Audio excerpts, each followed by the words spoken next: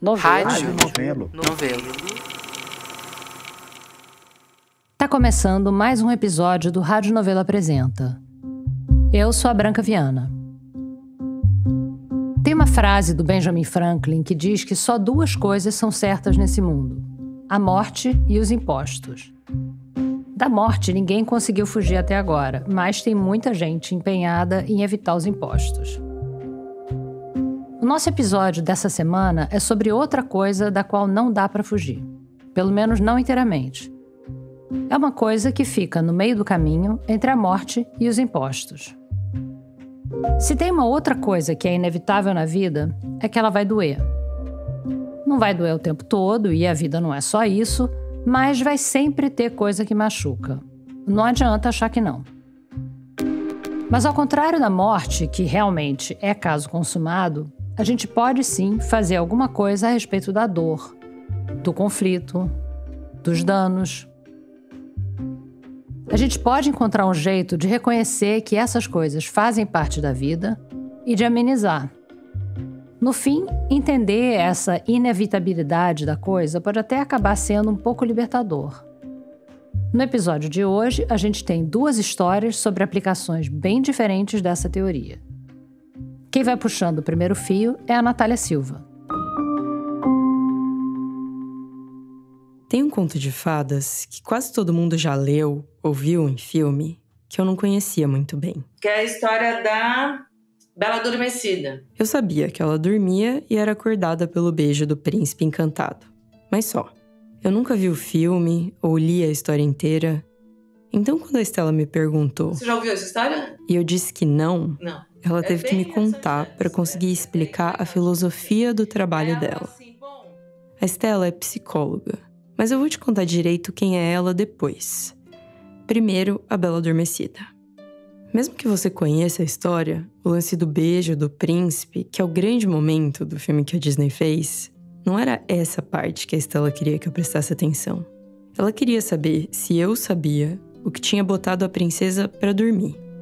E a história é assim: era uma vez um rei e uma rainha. Eles queriam muito ter um filho, Tentavam, tentavam, tentavam e não dava certo. Eles fizeram de tudo e depois de muito tempo conseguiram. Nasce uma linda menina, a Aurora. Como eles ficaram muito felizes com o nascimento, eles chamam todas as fadas do reino para dar um presente para Aurora, que ainda é um bebê. Aí rola um brunch para as fadas e quando tá todo mundo sentado na mesa, chega mais uma fada. Uma fada que estava sumida, que todo mundo achou que tinha morrido. E ela tá super ofendida de não ter sido convidada. Aí, na hora de dar o presente, ela decide se vingar por não ter sido chamada pra festinha. Ela diz que quando a princesa fizer 15 anos, ela vai picar o dedo numa roca de fiar, que é um instrumento para fazer fio que tem uma agulha. Aí, depois de picar o dedo nessa roca, a Aurora vai morrer. O rei e a rainha entram em desespero. Aí, outra fada fica com dó e diz que o presente dela vai ser suavizar essa vingança. Então, em vez de morrer, ela diz que a princesa vai dormir até que ela receba um beijo de amor verdadeiro. Só que aí o pai, o rei, né, pensa: eu não vou correr esse risco. Ela não pode encostar o dedo nessa roca. Eu, que sou rei, vou mandar queimar todas as rocas do reino. Só que sobra uma roca, uma única roca, que ficava super bem guardada as sete chaves. E aí, como você já deve ter adivinhado, a Aurora encontra a roca. É um negócio novo que ela nunca viu na vida. Ela fica curiosa, vai lá e pimba. Pica o dedo nessa roca e dorme. É assim que ela dorme. No final, não sei se dá para dizer que a resposta do rei é a pior possível. Mas veja bem, ele não só não consegue proteger a filha, como deve ter tido um impacto terrível sobre o reino como um todo. Imagina o que significava confiscar todas as rocas. Do dia para noite não tem mais como fazer tecido. Até a Aurora estar na idade de namorar, a população toda devia estar vestindo farrapos. Se a Estela fosse o rei, ela daria outra resposta para essa situação.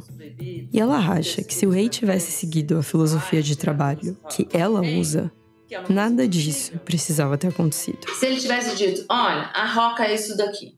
a roca tem esse negócio. Aqui pica o dedo. Então veja bem, quando você encontrar a roca, nunca põe a mão aqui. Ele teria feito uma coisa de redução de danos e ela não teria picado o dedo na roca. E ela se, deu, se machucou com um negócio que ela não conhecia. Se ela conhecesse o objeto, talvez ela, ela pudesse não se machucar, né? Talvez. Mas aí nem seria um conto de fadas. Porque a Bela Adormecida tinha que se machucar. Não só para ter uma história, mas para ter uma moral na história. Contos de fada, às vezes de um jeito meio torto, são histórias que a gente conta para tentar passar uma mensagem, um alerta, nesse caso da Bela Adormecida. Quantos pais por aí não devem ter dito: Você lembra do que aconteceu com a Aurora? para convencer crianças a não botar o dedo em qualquer coisa. A Estela também me contou essa versão da história para tentar me convencer de uma ideia. Ela disse tudo isso no fim de uma conversa que a gente teve, porque eu queria entender uma polêmica na qual ela se meteu uns anos atrás. Eu começo ali do começo, antes de Cristo, que é uma história longa. Antes de Cristo, no fim dos anos 90, começo dos anos 2000. Bom, então, lá começando lá bem atrás, eu sou psicóloga e desde já da graduação eu comecei a trabalhar com, com consumo de drogas, né? O nome completo da Estela é Estela Almeida. Ela se formou em psicologia na USP, a Universidade de São Paulo, e decidiu fazer o mestrado lá também. E falei, pô, vou estudar êxtase, que ninguém estudou ainda, é uma coisa super nova, uma coisa de jovens. Nessa época, né, antes de Cristo, o consumo de êxtase no Brasil era pequeno mas estava aumentando. Daí eu propus para minha orientadora, né, né, falei, não, preciso estudar êxtase. Ela falou, olha, eu já estou muito velha para começar a estudar uma droga nova, nem sei se você vai conseguir encontrar esses usuários. Eu falei, não, eu consigo, isso deixa comigo. Aí ela até falou, ó, você me dá uma aula sobre como o êxtase atua no cérebro e eu topo, se a aula for boa. A aula foi boa, a orientadora topou. E aí ela fez o mestrado dela sobre êxtase. Que chamou inclusive o primeiro perfil do usuário de êxtase em São Paulo. Que foi publicado em 2000. A pesquisa dela comparou usuários e não usuários de êxtase.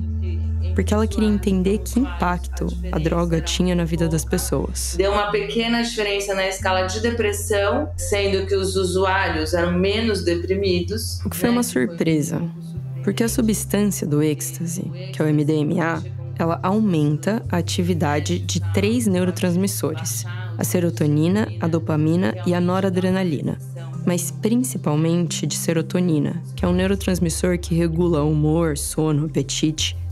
Então, esse excesso de serotonina é o que causa a sensação de bem-estar. Não é à toa que a droga chama êxtase. Só que a gente tem um estoque de serotonina.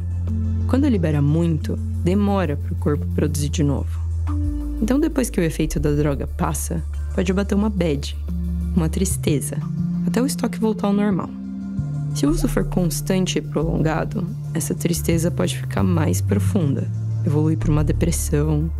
Mas enfim, os usuários que a Estela entrevistou, que faziam uso recreativo da droga no fim de semana, em festa, estavam um pouco menos deprê do que os não usuários. Então eles não estavam pensando em parar com a droga. Não estava fazendo exatamente mal para eles, né? Eles não se sentiam nem deprimidos, nem com nenhum outro tipo de problema. Mas eles estavam Mas preocupados eles com a própria saúde. Pô, será que isso vai fazer mal, né?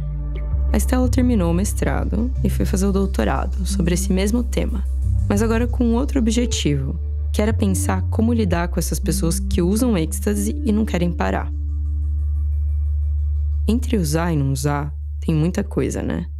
Não é uma coisa ou outra. Então, o meu doutorado foi uma pesquisa online com usuários de êxtase, aí só usuários. Né? Que ela começou a fazer em 2001. Fiz um site, coloquei a pesquisa, foi super legal, super funcionou, né? Eu tive muita resposta. Mais de mil usuários responderam. E isso foi no começo dos anos 2000, hein? Ninguém sabia nada sobre pesquisa online. Não tinha Instagram para postar link no Stories. Se tivesse rede social ia ser incrível, assim, tivesse no Instagram, uma coisa. Ia ser. Era Orkut naquela época. Orkut é aquela rede social que Jesus Cristo usou para reunir os apóstolos e tal, mas que acabou. Só quem viveu sabe. Se o Orkut ainda existisse, você teria que digitar balada boa para encontrar a pesquisa da Estela. Esse era o nome da pesquisa. Balada boa. Por quê? Na verdade, eu tinha um informante que ele levava nas festas numa embalagenzinha de tic-tac, sabe? E aí ele falava, quem quer uma balinha? E aí um dia eu tive um insight, falei, puta, balada boa, balada boa. Êxtase, bala, balada boa, balada boa. Eu particularmente acho muito legal, porque quando eu falava com alguém tipo de ética, eu falava assim, então, porque o balada boa e ninguém percebia. E quando eu falava para o usuário, eu falava porque o balada boa, né? Eu só mudava a entonação e já tinha essa coisa. E eu achava muito que você, para comunicar, se você comunicar com diversão, você vai comunicar muito melhor.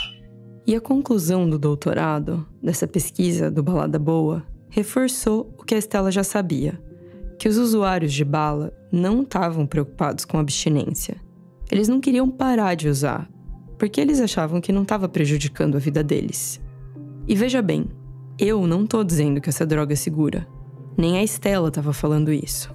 Ela queria entender o que os usuários pensavam, para poder planejar uma estratégia de cuidado e prevenção a partir disso. E cheguei de novo à conclusão de que realmente a redução de danos era o melhor mesmo, era bacana, era o que ia funcionar para esse público. E é aqui que a história começa a ficar complicada e polêmica. Quando aparece a tal redução de é danos. É de danos. A mesma que a Estela é falou lá na história da Bela Adormecida. E por que isso, né? Porque a gente vive num país extremamente moralista. Quem me explicou melhor o que é redução de danos, que algumas pessoas também chamam de RD, foi a Angélica Comis, da ONG Edley. Essa ONG existe há uns anos já e trabalha com redução de danos sociais e de saúde ligados a drogas. É, então, a redução de danos ela veio para tentar garantir uma melhora na qualidade de vida do indivíduo que faz uso de substâncias e, para além disso, falar de dados de realidade, né? Porque não adianta eu falar, olha, uh, não pode usar drogas ilícitas né? Porque as pessoas gostam, elas usam. Né? Isso então, não quer dizer que não dê para fazer nada. Porque na verdade a redução de danos ela é uma lógica de cuidado. A primeira vez que a humanidade testou essa lógica em grande escala não envolveu uma roca, mas também tinha uma coisa pontiaguda no meio. Quem usa drogas injetáveis e compartilha seringa corre muito risco de pegar várias doenças. E as primeiras campanhas de redução de danos no mundo foram para tentar frear o avanço do vírus do HIV entre essas pessoas. Tem uma história bem marcante e meio engraçada que eu descobri enquanto fazia pesquisa para esse episódio. Eu li num livro chamado Undoing Drugs, escrito pela Maya Salavitz. O livro não está disponível em português, infelizmente. A história que me marcou aconteceu nos Estados Unidos, de onde a Maya é. Foi o seguinte: no fim dos anos 80, começo dos anos 2000, tá com AIDS era igual ter um atestado de óbito. Pegou, morreu. Hoje em dia, quase todo mundo sabe como o vírus do HIV é transmitido. Mas antes não era assim. Por exemplo, um dos jeitos de se contaminar é compartilhando seringa. Só que apesar do vírus estar circulando entre quem usava drogas injetáveis desde o final dos anos 70, a primeira notícia sobre isso só foi publicada lá nos Estados Unidos em 85. Nessa altura, boa parte das pessoas que injetavam já tinham o vírus. Aí os pesquisadores, médicos, enfermeiros, epidemiologistas, enfim, começaram a pensar em como fazer para parar isso. Fazer as pessoas pararem de usar droga? Hum, seria tipo queimar todas as rocas do reino, sem condições. A droga ia continuar entrando e saindo da seringa. Quem ia ter que sumir era o vírus. Eles precisavam achar um jeito de desinfectar as seringas. Aí começou um processo de tentativa e erro de eliminação. Colocar água fervida dentro da seringa era um jeito, mas ferver água é um processo lento. Ninguém ia querer esperar todo aquele tempo. Dava para usar álcool, mas aí tinha o risco das pessoas não usarem o álcool certo mas sim, sei lá, uma bebida com álcool. E não ia funcionar. Tinham outros produtos químicos, mas que exigiam muito cuidado. E tinha água sanitária, que matava o vírus do HIV, inclusive se tivesse diluído em água. Ainda tinha o risco de sobrar um pouco de água sanitária na seringa se a pessoa não limpasse direito. Mas em quantidades pequenas, injetar água sanitária não é fatal. Faz mal, óbvio, mas não mata. E é aqui que começa a parte meio engraçada. Para divulgar essa estratégia, em 1986, nasce um super-herói, o Bleachman. Bleach é água sanitária em inglês. Isso que você está ouvindo no fundo é a campanha de TV do Bleachman. Começa com ele lendo um jornal lá no planeta dele e descobrindo que a Terra está lutando contra a AIDS.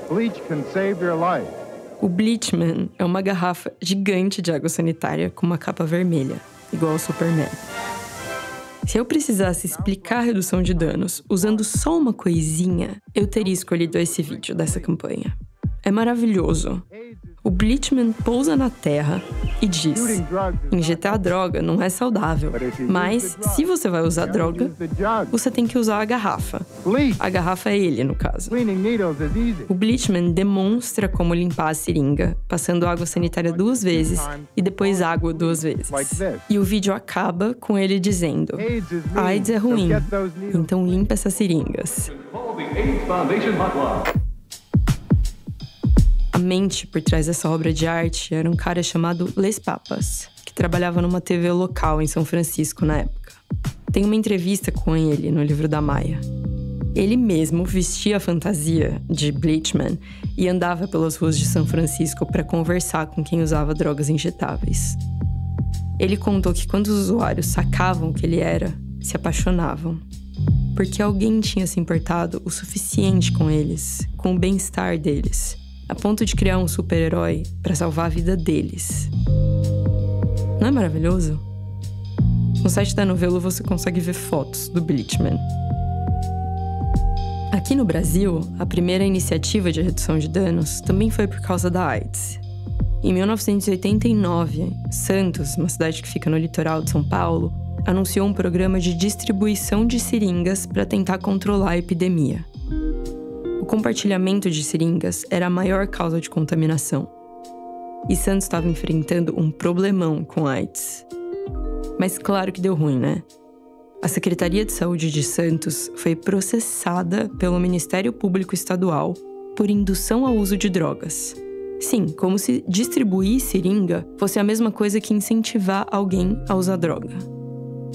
Mas no fim o processo foi arquivado esse programa acabou não sendo implementado, mas ele deu início a um debate sobre redução de danos por aqui. Foi assim que a redução de danos chegou no Brasil. O grande incômodo com a redução de danos gira em torno de uma coisa: o apego à abstinência. O jeito de tratar o uso de drogas até ali colocava a abstinência em primeiro lugar. Então, pensando assim nesse caso da AIDS, a solução não seria distribuir seringa, mas fazer com que as pessoas parassem de usar drogas. Mas não é todo mundo que quer parar ou que consegue parar. Na verdade, a abstinência ela nunca pode ser a primeira, porque é a mais difícil de atingir. Isso não quer dizer que a abstinência não faça parte da redução de danos. Muito pelo contrário. A gente não é contra a abstinência. A gente entende que para as pessoas que querem ficar abstinentes, a redução de danos também pode ser um caminho para chegar à abstinência. Porque, na verdade, a redução de danos ela é uma lógica de cuidado. A gente pode construir estratégia para qualquer coisa com redução de danos. E a estratégia de redução de danos que a Estela pensou para o êxtase foi dar informação, igual na história da Bela Adormecida. Ela se machucou com um negócio que ela não conhecia. Se ela conhecesse o objeto, talvez ela, ela pudesse não se machucar, né? A escolha só é consciente quando ela é feita com base na informação. Então, eu vou te dar informação para que você faça as suas escolhas. Eu não quero mudar a sua escolha, mas eu quero te dar informação para que você veja se é realmente essa escolha que você quer fazer. Em 2006, a Estela conseguiu uma bolsa para fazer esse projeto de redução de danos. Era uma bolsa de pós-doc. O projeto acabou ficando com o apelido de Balada Boa. E funcionava assim. A Estela fez panfletos com informações sobre o êxtase. E eu escolhi um tamanho de um cartão de crédito para que as pessoas pudessem guardar. Tinha umas fotinhos bonitinhas, bacaninhas, bem de balada, assim. E, e, cada um falava sobre um tema. Então, um falava sobre êxtase sexo, outro falava sobre êxtase e composição dos comprimidos. Cada flyer tinha um tópico. Então, o êxtase pode dar um aumento da temperatura corporal, pode chegar a uma hipertermia. O que fazer? Faça pausa enquanto você dança, não use roupas muito quentes, se observe, beba água, mas não muito, enfim, essas informações de redução de danos divididas em oito flyers. E aí eu distribuía nas baladas. Distribuía em baladas e em faculdades. A Estela e as pessoas que ela tinha contratado para ajudar a distribuir os flyers também ficavam nas portas de faculdades de São Paulo. Na PUC, no Mackenzie, na FAP, na USP em alguns lugares. Até que um dia. Mackenzie, né? Um estudante de direito pegou um desses flyers e falou: escuta, o que, que é isso? Como assim? Isso aqui é bababá. O garoto achou que os flyers estavam fazendo apologia ao uso de êxtase. E ele não era o único que discordava da estratégia. Calhou de ser junto com a balada, junto com a parada gay. Nesse mesmo ano, em 2007, a parada LGBTQIA, que nessa época ainda era conhecida como Parada Gay, também estava com um projeto de redução de danos. Dizendo para não compartilhar a seringa, por exemplo, para não pegar uma doença. E isso já tinha dado polêmica. A imprensa estava cobrindo o assunto, enfim. E aí o flyer do Balada Boa caiu na mão de um jornalista. Que é o Reinaldo Azevedo, da Veja. Sim, que tinha uma coluna na Veja nessa época. E ele publicou um texto criticando muito o projeto. Mas assim, muito. O primeiro saiu no dia 18 de junho de 2007. O título era Dinheiro Público da FAPESP é usado para ensinar o consumo responsável, consumo responsável estava entre aspas, de êxtase. Eu não vou ler o texto inteiro aqui, mas tem um trecho que sintetiza bem o que o Reinaldo achava do projeto naquela época. Ele escreveu assim, abre aspas, Saí distribuindo 32 mil folhetos, propondo o uso mais responsável do êxtase, sob o pretexto de reduzir danos, corresponde a distribuir camisinhas a estupradores. Sim, no mesmo dia, a FAPESP, que é a Fundação de Amparo à Pesquisa do Estado de São Paulo, ou seja, quem dá dinheiro para fazer pesquisa em São Paulo, cortou a bolsa de pós-doc da Estela. Aí eu soube pelo jornal que a FAPESP tinha cortado minha bolsa de pós-doc. Tipo, é uma coisa muito absurda, antiética, inacreditável, incrível. E aí eu falei, como assim, a bolsa? Me perguntaram, porque não fui eu que inventei, eu até gostaria de ser eu que tivesse inventado tudo isso, mas claramente não foi. Eu peguei uns projetos australianos, o espanhol, alguns projetos mais bacanas, modernetes, que eu achava que fazia sentido, traduzi, adaptei, entrevistei o usuário, como é que eu pergunto, como é que eu não pergunto, o que, que é cabível, né? Para receber a bolsa da FAPESP, o projeto da Estela teve que ser aprovado por um comitê de ética. Então ela tinha toda a justificativa para fazer aquilo que ela estava fazendo. Justificativa científica, apoiada em projetos feitos em outros países, com dados, enfim. Daí a gente foi lá falar com o presidente da FAPESP e ele falava assim: não, mas é que vocês não estão entendendo, a FAPESP é responsável, eu posso sair daqui algemado. Aí a Estela e a orientadora dela começaram a ser chamadas para dar entrevista. O laboratório que eu trabalho lá de psicofarmacologia que eu trabalhava, é um laboratório que, tipo, só eu trabalhava com humanos, né? É um laboratório de rato, para testar drogas, enfim, remédio, né? Medicação. E aí o telefone, imagina, é um silêncio total, só tem os ratos, os pesquisadores. O telefone não parava de tocar, o porteiro vinha lá da coisa, escuta, tem telefone, não sei, em todo lugar tem telefone. Aí saiu no destaque, aí saiu, não, foi assim uma coisa que eu juro não esperava. Saiu na Globo também. Teve uma reportagem no jornal local de São Paulo, o SPTV. Então foi uma puta loucura, assim. Daí alguns pesquisadores super vieram em minha defesa, foi bem bacana. Teve um abaixo assinado, com mais de 850 assinaturas, de psicólogos, pesquisadores, advogados. E aí, o presidente da FAPESP. Ele retomou a minha bolsa, mas não renovou. Só que a história não acabou aí. Ah, sim. E daí que aconteceu? Naquele primeiro texto que o Reinaldo escreveu sobre isso, ele disse que, num país decente, o Ministério Público convocaria a USP e a FAPESP a dar explicações sobre o projeto. Ele mandou esse texto falando é um absurdo isso daqui, a FAPESP está patrocinando, a USP, vejam bem, que absurdo, isso aqui dá Ministério Público e alguém entrou mesmo no Ministério Público contra o projeto, uma denúncia anônima ali. E aí, de repente, o Brasil resolveu ser um país decente e um promotor de justiça instaurou um inquérito policial, que tramitou no DENARC, que é a Divisão Estadual de Narcóticos, para investigar se a Estela e a orientadora dela tinham cometido dois crimes. Né? Que era apologia ao uso de drogas e incentivo à conduta ilegal. Por causa dos flyers. Parecido com o que aconteceu em Santos quando distribuíram seringa, só que pior. Estela não estava distribuindo seringa. Ela estava distribuindo informação. Nenhuma das duas coisas é errada, mas no caso da Estela parece mais absurdo, porque o que ela estava fazendo, no fim das contas, era dar conselho. Um dos meus pais falava isso, né? Olha, você vai tomar? Beleza, então você toma metade da dose que você planejou tomar, espera um pouquinho e decide se você quer tomar outra metade.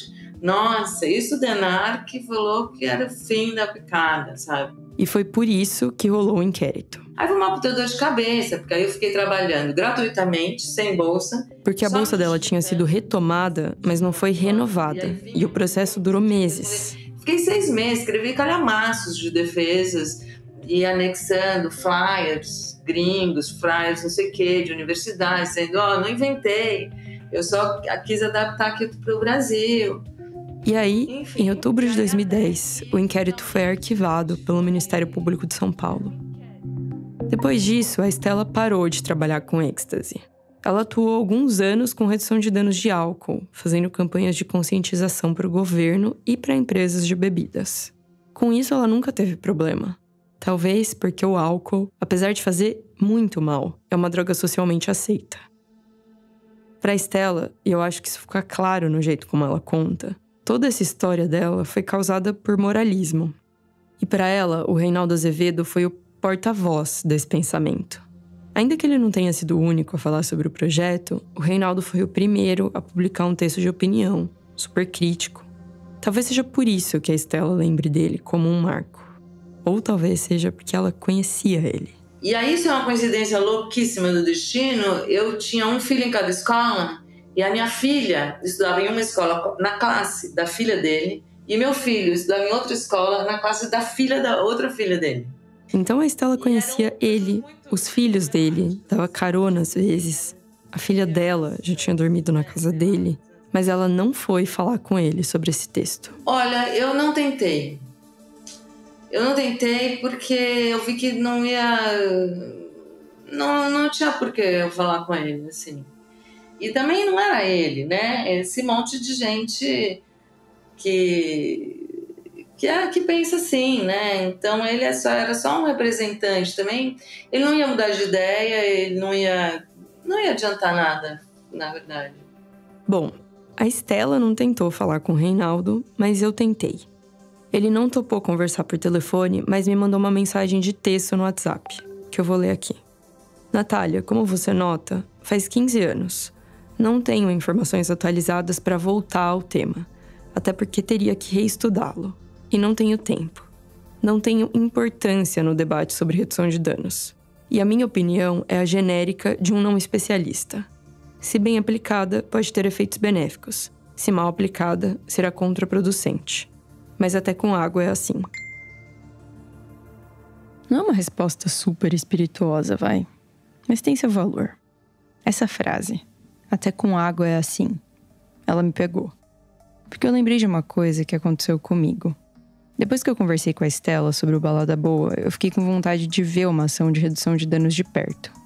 Porque eu confesso que eu queria entender se funcionava mesmo. Aí eu fui numa festa aqui em São Paulo, onde o Ed Lay, aquela ONG onde a Angélica trabalha, faz algo parecido com Balada Boa. Eles montam um stand e ficam distribuindo panfleto, conversando, tem psicólogos para ajudar quem tomou alguma coisa e tá se sentindo muito mal, enfim. E eu tava ali meio tentando gravar, mas tava muito barulho, então não tinha muito como entrevistar ninguém. E eu queria muito ser útil. Aí eu senti que a única coisa que dava para eu fazer, sem experiência nenhuma, era dar água para as pessoas. tinha uns galões de água, copo de plástico, e eu não podia ver uma pessoa passando que eu dizia: Você quer tomar água? Eu achei que eu tava salvando a festa inteira da ressaca do dia seguinte. Aí rolou uma coisa muito tensa. Foi a única coisa tensa da noite, na verdade. Um cara tomou LSD e teve um surto. Então ele se debateu, empurrou uma garota, ela caiu, se machucou, teve que ir pro hospital. E aí os bombeiros foram tentar conter ele e acabaram piorando a situação porque ele ficou mais desesperado. E aí o pessoal do Edley foi chamado para ajudar. Eles trouxeram o menino pro stand e botaram ele deitado numa salinha que tinha vários colchões no chão, era meio escura, mais quieta, para ele ficar ali até se acalmar. E uma psicóloga ficou com ele. Aí eu pensei, água. Ele precisa beber água.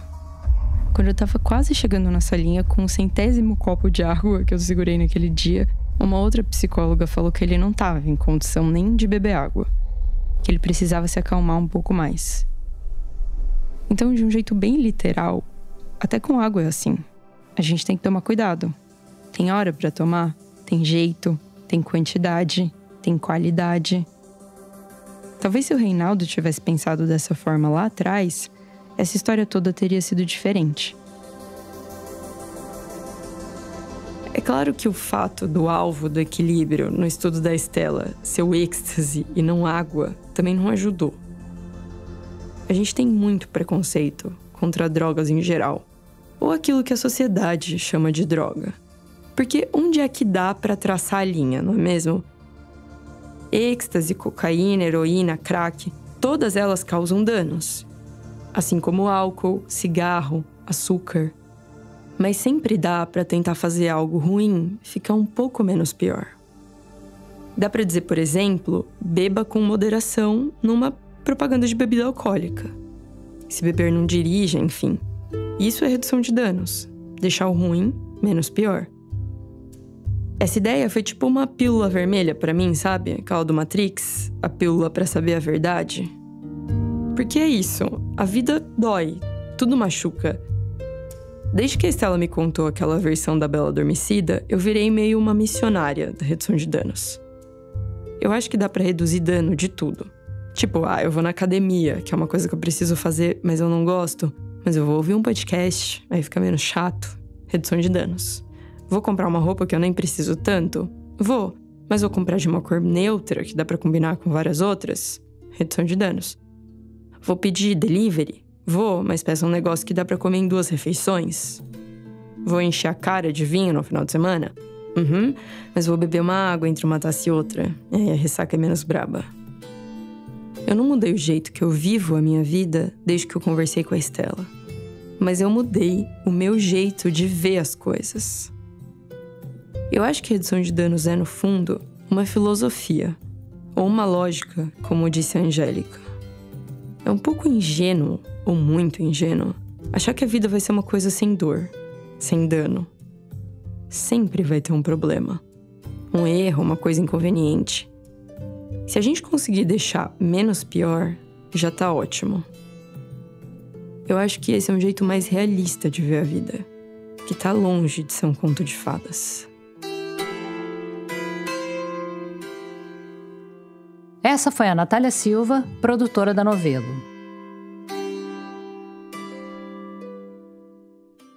E depois que a Nath apurou essa história sobre redução de danos no uso de drogas, a gente, com perdão do trocadilho, ficou meio viciada. Quer dizer, a gente começou a ver redução de danos em tudo. Ou ver oportunidades perdidas de redução de danos em tudo quanto é lugar. E um dos maiores campos minados nesse quesito, junto com a saúde pública, com a violência, com outros problemas estruturais da sociedade, é um que é bem mais próximo, mais íntimo, no quintal de casa. É como a gente atravessa a maratona emocional, financeira, logística, física e espiritual que é uma vida a dois. A Paula Scarpim foi sentar com duas pessoas que estão encarando esse desafio bem no espírito da redução de danos e da letra da lei. Eu posso, posso começa, contar? começa, por favor. Peraí, que eu que tô no controle. Então eu que vou começar. Esses que você acabou de ouvir aí são a Valentina Castelo Branco e o Aurélio Aragão. Eu acho que a gente pode começar pedindo pra eles se apresentarem, que é uma coisa que a gente faz sempre. Vai você primeiro, que eu não sei quem eu sou, não. Eu sou. Ninguém sabe quem é, não, Aurélio. É uma coisa nossa. É, eu sou Valentina, eu sou roteirista, é, mulher do Aurélio, mãe da Mora e madrasta do Benja. Caramba. E eu sou Aurélio, marido da Valentina, pai da Mora e do Benja. E roteirista em geral, assim. É... A Valentina e o Aurélio estão juntos desde 2016. Eu conheci eles no ano seguinte. E logo depois eles resolveram se casar. Mas chegou uma hora, quando a gente decidiu casar e a gente queria fazer uma festa, que virou um inferno. Acho que qualquer pessoa que já planejou uma festa, não precisa nem ser festa de casamento, consegue ter uma ideia do que é esse inferno que a Valen tá falando. Porque planejar uma festa é essencialmente uma tentativa de conjugar interesses de pessoas diferentes. Quer dizer, uma receita perfeita para a criação de expectativas irreais e frustração garantida. Eu sou difícil, ele é difícil e era muito esquisito, porque a gente estava muito animado para casar, mas sei lá, toda semana a gente falava, então vamos cancelar. Aí eu sentava no computador, escrevia um e-mail falando: sinto muito pelo convite equivocado, mas percebemos que o casamento não é possível. E, e aí era revertido, mas assim, chegou uma hora que a gente cansou e o Aurélio propôs que a gente criasse uma constituição. Uma constituição. Foi por isso que eu chamei a Valentina e o Aurélio para o estúdio da Novelo para conversar.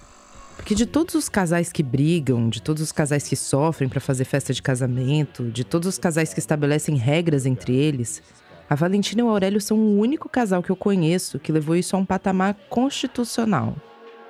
Sabe aquele verso da Marina Lima? Você me abre os seus braços e a gente faz um país? Parece uma coisa linda, né? Mas o que a gente esquece é que fazer um país dá trabalho. E segundo Aurélio, depois de um tempo, não dava mais para tocar esse país deles dois sem um marco legal. Os dois gostam muito de conversar, mas os dois também gostam muito de discutir. E aí as discussões ficavam infinitas. A gente passou a dormir pouco, porque a gente ia até meio da madrugada em debates quentes.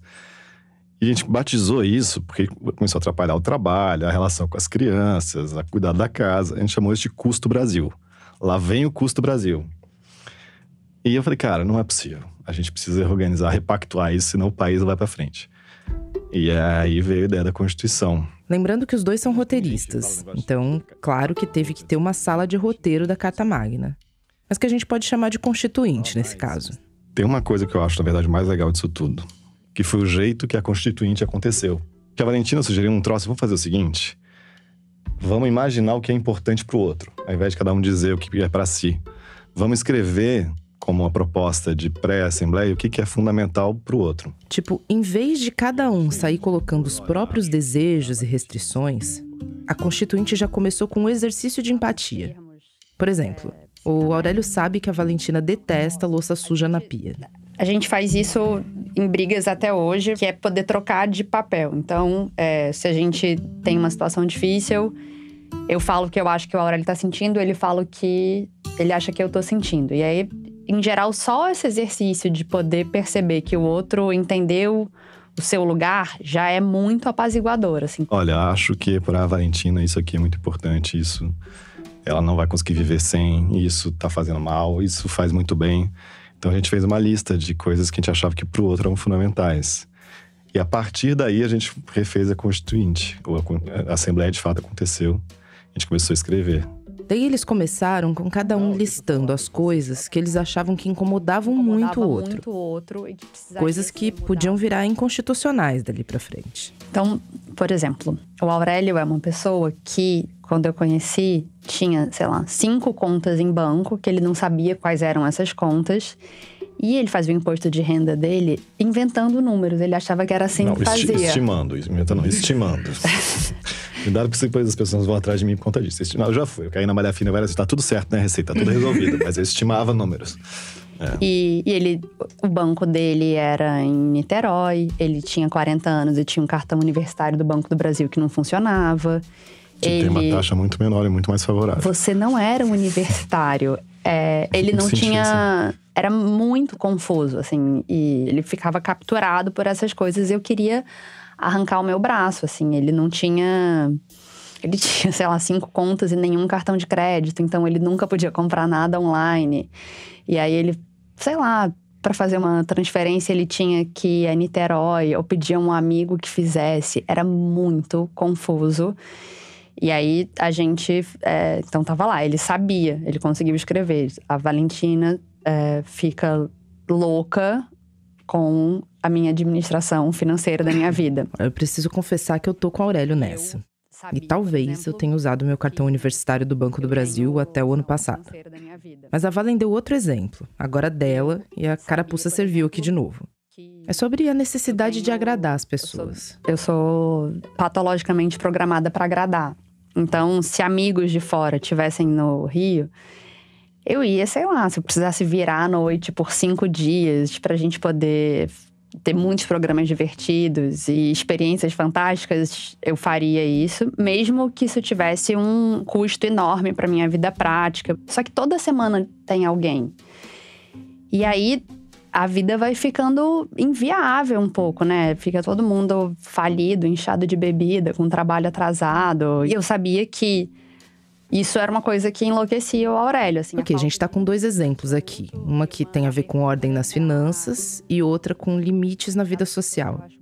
Mas nas discussões da Constituinte, a Valentina e o Aurélio também foram estabelecendo áreas de competência, delimitando jurisprudências. É, eu, eu caía na besteira de, às vezes, comprar objetos para casa. Tipo, um objeto, um cesto, um cinzeiro, alguma coisa assim, sei lá. E a Valentina, se vocês sabem, ela tem um cuidado estético. Ela entrou aqui, ela reparou no, no tom de, das cadeiras, como é que o armário, gaveteiro, verde floresta. Ela tem uma capacidade de olhar para os objetos com muita, com muito carinho. E eu achava, ingenuamente até então, que os objetos tinham uma função prática. E olhe lá. Eu falei, cara, então eu preciso entender que para a Valentina, o cuidado com os objetos é fundamental. E aí ela passa a ter ela é uma espécie de, a gente chama CEO estético, CEO, da, CEO estético da casa. Ela toma conta disso. Eu, eu, posso até comprar, etc., mas eu admito que a liderança do padrão estético da casa é da Valentina. Eu acho que isso é uma outra coisa da Constituição, que é o, o reconhecimento de uma hierarquia em determinados temas. Nossa, a gente é muito treteiro mesmo, né? é, então, por exemplo, quando a gente vai viajar, se a gente está indo para um lugar e eu vou pesquisar hotel ou casa no Airbnb, eu vou pesquisar na primeira página. Aí, na primeira página, eu vou ver que lugar eu gostei mais. O Aurélio vai enquanto houver páginas. Então, ele é o CEO turístico. Eu não tenho autorização para reservar nada sem a aprovação dele. Que gente chata que a gente é, né? Caraca, a gente é muito. Desculpa. Porque imagina que, enquanto isso, devem ter, assim, tipo, surfistas que estão viajando numa Kombi, ouvindo e falando assim: caralho, por que, gente? Coitados, eles precisam, tipo, sei lá, de medicação Sim. e maconha e sei lá, um exorcismo, não sei. Ok, acho que do mesmo jeito que todo casal é cringe, todo casal também é muito chato. A diferença é que a Valen e o Aurélio resolveram codificar as chatices particulares deles em nome do amor, da ordem e da paz social. Então, um dos primeiros itens da Constituição era o Aurélio não gostava de acordar sozinho. Se ele se visse na cama sozinho, ele ficava muito chateado. Eu ia estar na sala, mas ele ia chegar na sala assim, muito bravo, porque ele tinha acordado sozinho. Eu não tenho a menor ideia porque que ele não gosta de acordar sozinho na cama. Eu nunca sa... não é que eu saía de casa e ia pro, sei lá, pro samba e voltava no dia seguinte. Eu tava na sala. Mas a ideia de acordar sozinho era muito ruim. Ele queria que eu avisasse para ele, falasse: "Olha, eu vou pra sala". E eu sou o contrário, eu não gosto de ser acordada, eu quero dormir o máximo possível. Então era difícil que eu conseguisse colocar. Então a gente na Constituição você tem um artigo que diz que eu não saio da cama sem avisar e que ele não me acorda mesmo que ele esteja indo para um bar e vá voltar no dia seguinte. Eu prefiro um bilhete. É. E a gente Vocês terem uma ideia do nível de minúcia assim, porque é, é isso, né? Eu, e o pior que eu estudei, eu lembrei hoje que eu estudei direito constitucional, né? Da pior maneira possível, porque foi com Gilmar Mendes? É. Teve aula com o Gilmar? É, tive Direito Constitucional 1, 2 e 3 com Gilmar Mendes. Ai, negrou-se confusão. E era uma época que eu tinha 17, 18 anos e tudo que eu não queria era a lei. Eu era aquele adolescente bem típico, assim, que odiava autoridades. Então a aula do Gilmar Mendes era a pior coisa para mim em todos os tempos. Eu não conseguia ficar dentro da sala. Então eu realmente não aprendi nada, nada. Eu não sei nada sobre direito constitucional. Você sabe que o Gilmar mudou minha vida? Preciso conhecer um parêntese.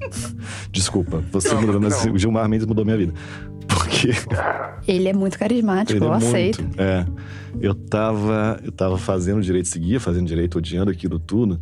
E um dia eu tava indo às 7h40 da manhã pra UNB para fazer a prova de direito constitucional, sei lá, 4. E eu tinha um Jeep velho, antigo. E na hora que eu tava chegando nervoso, já quase atrasado pra prova, eu senti o mundo virando e ficando escuro. O Jeep perdeu a roda e capotou. E eu entrei num daquelas buracos de terra vermelha de Brasília e fiquei dentro daquilo um tempo. E eu saí no automático, pegando o caderno e tal, imundo, todo cheio, e caminhando no sentido da faculdade de Direito, para fazer a prova. Aí eu dei uns 10, 15 passos assim, eu falei, gente, por que, que eu tô fazendo isso? Eu odeio esse troço. Eu tava assim, eu tô imundo. Eu não vou mais fazer esse negócio. E aí eu, eu larguei o, o curso naquele instante, nunca mais fiz, nunca mais entrei na faculdade de Direito. Foi por conta dessa, desse dia dessa Então, prova. acho que foi o- mais o Jeep do que o Gilmar Mendes, vai. Pode ser, né? Mas é que tinha ali, a, a figura dele era figura tão ameaçador, tipo, ter que cumprir essa meta. E aí, pô, eu não, eu não quero estar apavorado, tomando, correndo, fazendo voltas, etc., por conta do Gilmar Mendes. Eu era profundamente infeliz. Isso não tem nada a ver com a nossa história, mas é só porque eu lembrei disso agora. E talvez tentar justificar por que que eu não aprendi nada de direito constitucional. Porque a nossa Constituição talvez seja um pouco mequetrefe. É, é. Tem, não, não, é, é muito particular, né? Ela não segue os princípios do direito constitucional. Eu nunca estudei direito, muito menos direito constitucional. E o pouco que eu sei é que existe uma escola bem minimalista, a Constituição dos Estados Unidos segue essa escola, por exemplo, em que você escreve o mínimo possível, uns princípios meio gerais e vai extrapolando a partir daí. E existe uma escola mais maximalista, detalhada, que tenta não dar margem para interpretações conflitantes. A Constituição do Brasil é mais para esse estilo minucioso. E a Constituição do Aurélio e da Valentina também. Modelo- Mas é um modelo brasileiro, né? Que é esse modelo um pouco, acho que um pouco de raiz romana também, que é esse, né? Que é o modelo que a gente escreve tudo, tudo, em todos os detalhes. E ela não. Eu ouço falar dessa Constituição desde que a Valen e o Aurélio começaram a aventar essa possibilidade. Mas eu nunca tinha visto o documento em si. Não sabia se era um Google Doc ou se era, sei lá, um manuscrito num pergaminho. Nesse dia no estúdio, eles apareceram ali com um documento, que era tipo uma apostila impressa, encadernada, com espiral. E um monte de papeizinhos dobrados entre as páginas. PEC tem- a gente pegou aqui, tem várias coisas anotadas, papéis soltos, são as PECs. As PECs, as propostas de emenda constitucional, são frutos de discussões zumbis. Sabe aquelas tretas de casal que não morrem, que sempre voltam? É, porque se a gente tá brigando pela terceira vez pelo mesmo motivo, alguma coisa tem que ser feita a respeito, porque vai ficando todo mundo muito cansado e brigar é muito chato, né? Então, para duas pessoas difíceis, a gente é bem intolerante a discussões, né? Conviver é um desafio, né? Decidir morar junto com alguém que foi criado de outro jeito, que tem visões de mundo diferentes, prioridades diferentes, manias diferentes, é meio que um- uma treta anunciada. E a Constituição, então, foi uma tentativa da Valen e do Aurélio de amenizar essas tretas. Ou talvez a gente possa chamar de redução de danos. Eu pedi para eles fazerem um tour pelo documento com a gente. Quer ver? Deixa eu ver se eu, se eu acho. Se puder pular as coisas mais polêmicas, eu agradeço. Gente, a gente é muito maluco olhando aqui. Meu Deus do céu. Por exemplo, campo dos direitos e garantias fundamentais, em que a gente trata da relação com a casa, com os filhos, com a divisão de bens. É engraçado, isso devia estar um pouquinho mais adiante. E sobre a morte. São, como é que São seja. esses pilares, assim. a É, mas é, casa, se, se- você prefere, é é meio a Bangu, né? É tipo, é uma, é uma constituição feita meio a Bangu total. O que, que é meio, a Bangu? Não A conheço Bangu. essa expressão. né? O negócio do Esse futebol. é futebol. Tinha saída a Bangu. Tem a saída que você tem que colocar a bola no meio do campo e sair direitinho. Não, você pode sair a Bangu que é do jeito que você quiser. Sai, vai, vai rolando. E um pouco é isso. E aí, por exemplo, a gente tem o tópico da organização do Estado. Reparando que eu, eu não fui tão mal na, na- no direito constitucional. Tem alguma coisa que faz sentido. O que, que organiza o nosso Estado? O artigo do planejamento, por exemplo. Que é priorizamos o tempo do carinho. Isso é a primeira coisa. Isso é um troço que tem a ver com o prazer dos dois e, e que é muito fácil que, nas circunstâncias, seja atropelado por um ou pelo outro.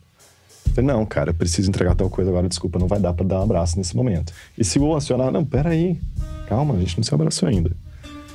A gente não se não deu um beijo ainda, calma. E eu acho que ter isso escrito ajuda. Depois a gente entra nos direitos e deveres individuais e coletivos, que aí tem a ver com a vida social, com a hora de acordar. Isso aqui é processual, os conflitos. Quais são os direitos e deveres da relação conflituosa? Artigo 1 Priorizamos a gentileza acima de todas as coisas. E a gente vai indo para coisas mais específicas. Implicâncias, provocações ou discussões públicas são expressamente proibidas e estão sujeitas a multa, que é uma coisa rara na Constituição, né? Que é supor penas. A Mas a gente é muito contra discutir em público, então. Muito. Isso é, isso é, é crime, é. né?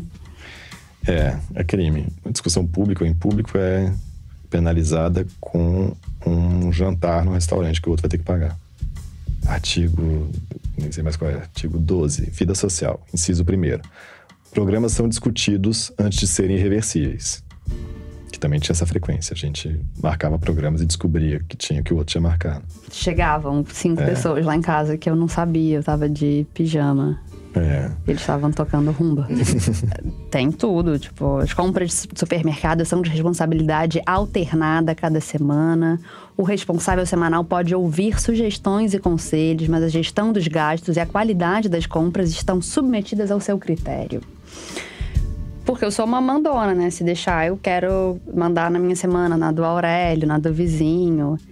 É... Acho que o meu artigo preferido da Constituição do casamento deles é o seguinte: numa discussão, se uma das partes alega sono, isso tem que ser respeitado. A Valentina explicou que isso surgiu numa dessas conversas de custo Brasil que varavam à noite. Então você começava a ficar muito cansado e o Aurélio argumenta muito melhor do que eu. Eu ia ficando com sono e ele ia ficando entusiasmado. Sendo assim, meus argumentos todos, tadinhos, iam sendo massacrados. A pessoa passou a ter constitucionalmente direito a falar: agora eu vou dormir, a gente continua amanhã.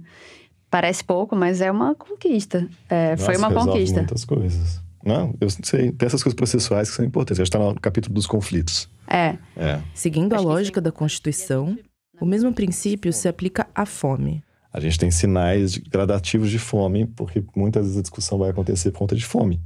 Então a gente precisa anunciar é quase uma regra, sinal amarelo, sinal laranja e sinal vermelho. A gente sabe, sabe que no laranja a gente não fala sobre nada tenso. Acabou, é, a gente só quando... resolve, pelo amor de Deus, só pega um sanduíche e. e quando a, a pessoa, se você dá o alerta laranja, acabou, não tem mais discussão nenhuma. Eu vou saber que eu estou discutindo com uma pessoa irracional.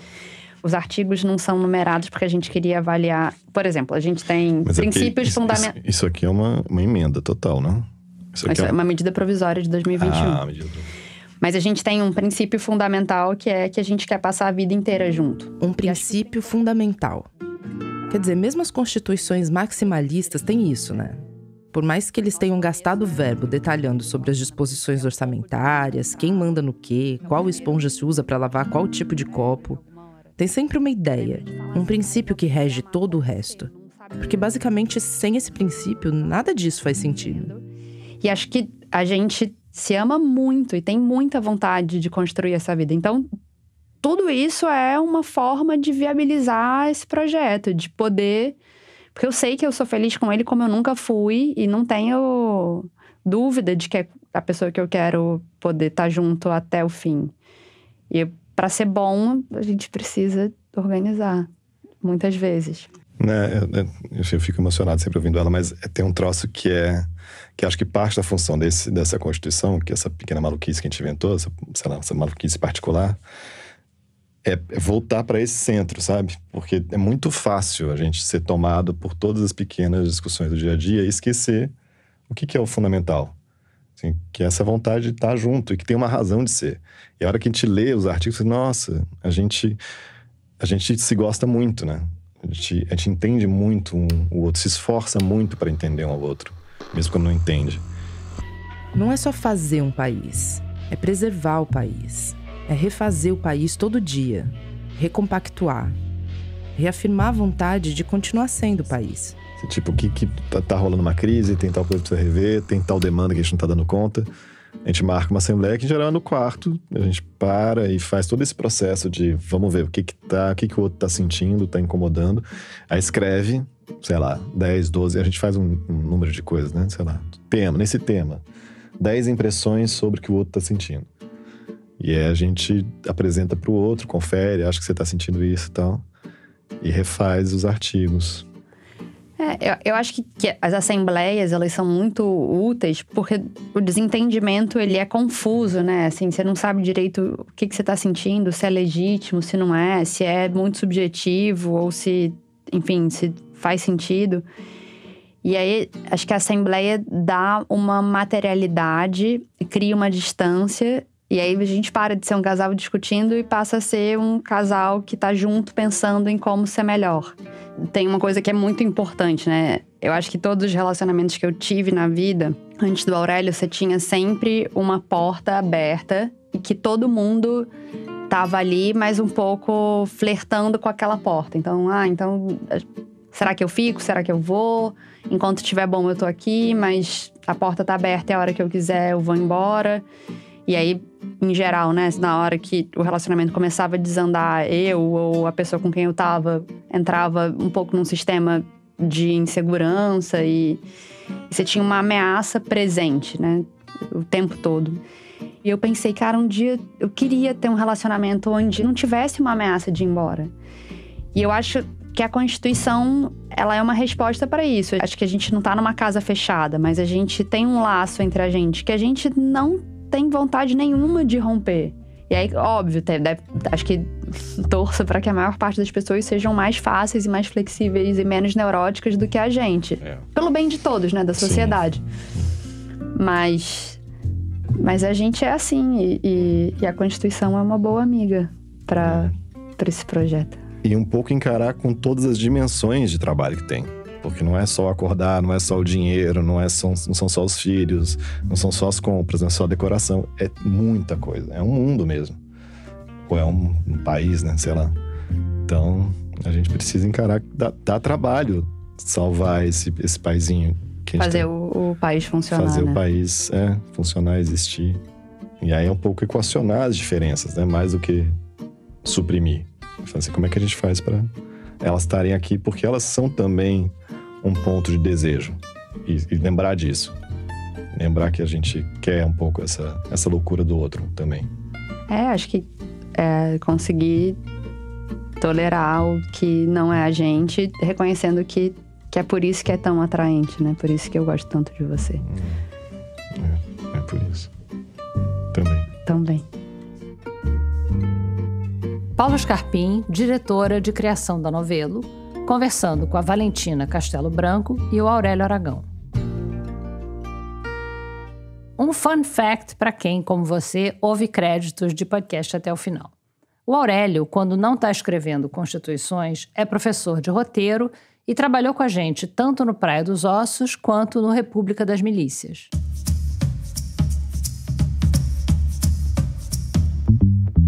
Obrigada por ouvir o Rádio Novela Apresenta. Não esquece de seguir a gente no aplicativo onde você ouve podcast e de dar cinco estrelas, porque isso ajuda demais a gente a chegar a mais ouvidos. No site radionovelo.com.br você consegue ver material extra e referências para cada episódio do programa, descobrir outros podcasts que a gente faz e assinar a nossa newsletter. E se você quiser escrever para a gente para mandar uma história ou contar o que você está achando, o nosso e-mail é apresenta@radionovelo.com.br. Também dá para marcar a gente nas redes no arroba Radionovelo.